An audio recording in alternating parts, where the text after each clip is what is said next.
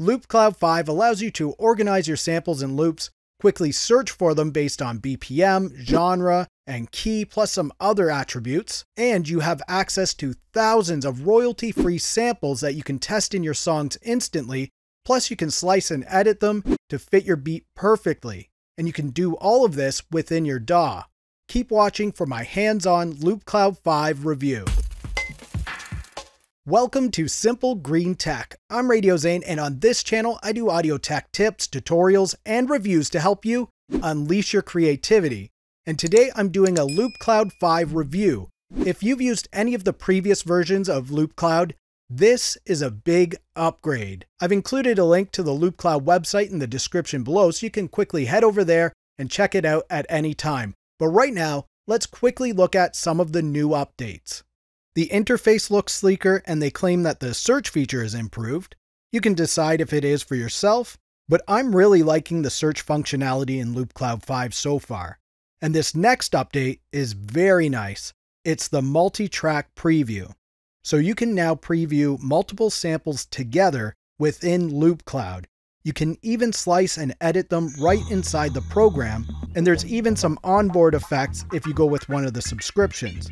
And another bonus if you go with one of the subscriptions is you get access to two more VST plugins. Loopcloud Drums that gives you instant access to hundreds of kits and one-shots, and you also get Loopcloud Play that gives you access to a huge selection of instruments. Loopcloud 5 is available for free, but like I said, there are a couple of subscription options that you can choose from. But right now, let's quickly look at what you get for free within Loopcloud 5.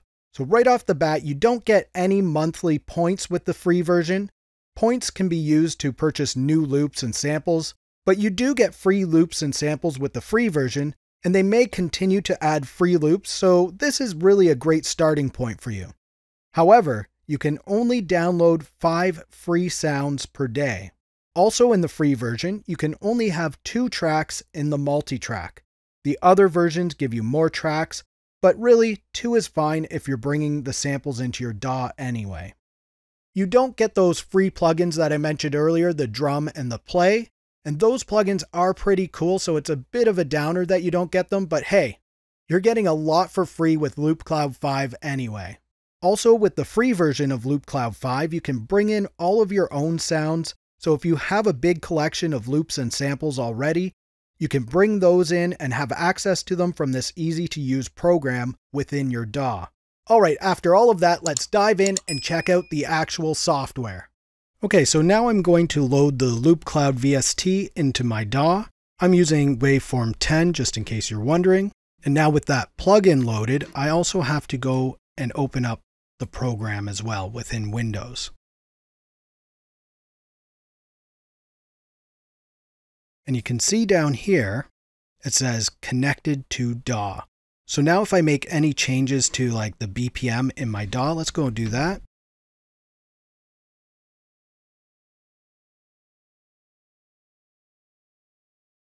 You'll see now that in Loopcloud, it's at 110, just like what I switched. So everything's going to match within my DAW, which is great. So we're now ready to start our search for some loops. There's a number of ways that we can get started. We can start with instrument, genre, labels, formats, additional, key, and BPM.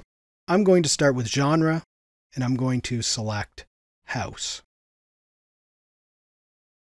And you'll see that it's already starting to find all of the loops that it thinks belongs in house, and it's going to continue to find more and more and add them in here. But what I'm going to do now is click on this button right here that says P and Store. And what this button does is toggles on the paid and the free ones. So if it's on, you're going to see all of the ones that you can pay with points. But if it's off, it's only going to show us what's available for free. And that's what I'm going to be using for this song. So I want to start my search with kick drums for our song. So let's go over here to instruments and click on kick.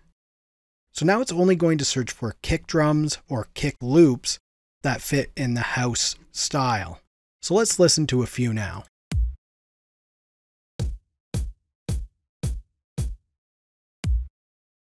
All right, see how it's a one shot here? If we want to hear what that would sound like as a loop, we can go in this pattern here, click on that, go to kicks. Then I'm just going to click on house kick 2. And now it's kind of made it into a loop for us to listen to. So let's hear what that sounds like.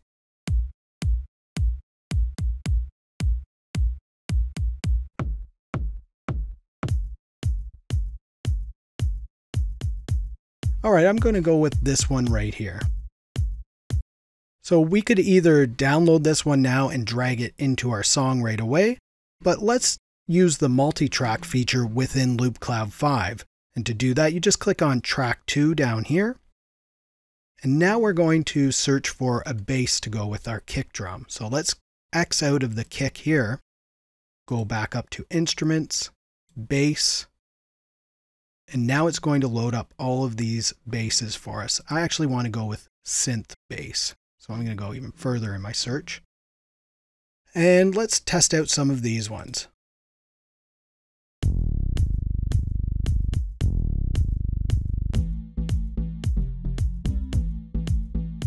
All right, this one might be all right. Let's go to pattern, bases,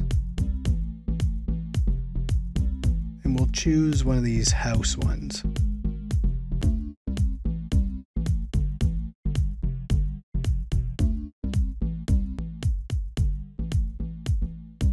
I don't like this one after all.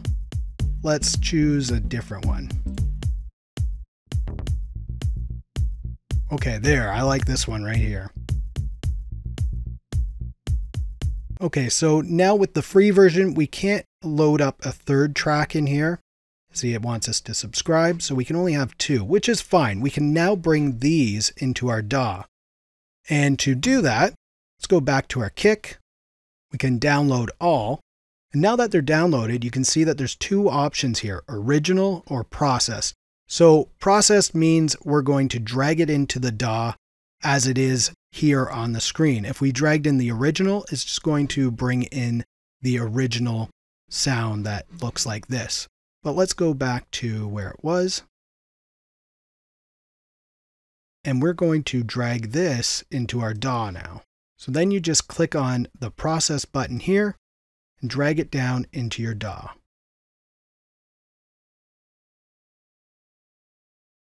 Now we have that process sound here. Let's hear what it sounds like.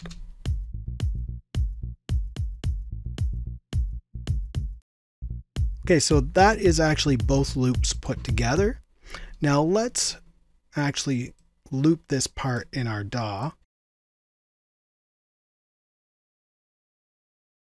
So now we're going to listen to this over and over again, and we're going to test out some other sounds to go along with it. So we're going to go back into Loopcloud. We're going to clear what we have in here now. And all right, and let's look for a nice synth lead. All right, we have some choices here.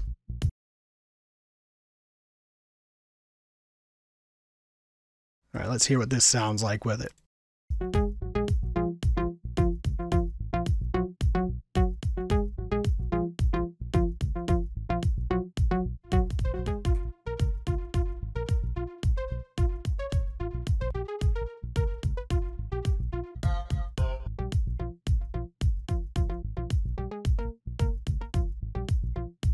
All right, so let's say this is the one I like right here. So I'm actually going to download this now. And I'm going to drag the process button down into my DAW.